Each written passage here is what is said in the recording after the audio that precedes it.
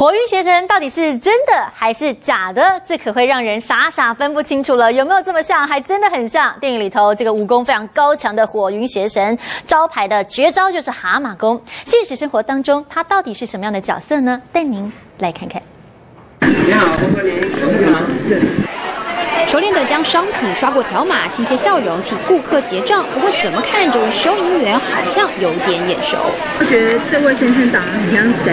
火一先生。哎，那为什么笑成笑得那么开心？很像啊。唯坚不破，唯快不破，快不破。当场秀了一段经典台词，对这位陈先生来说，被当成火云邪神已经不是第一次。好，欢迎吃喝哦。和正版火云邪神比一比，同样都有招牌地中海秃、稀疏眉毛和眯眯眼，就连丰圆饱满的鼻子和国字脸都有几分相似。工作上最主要的是专业吧，因为我还是觉得自己做自己。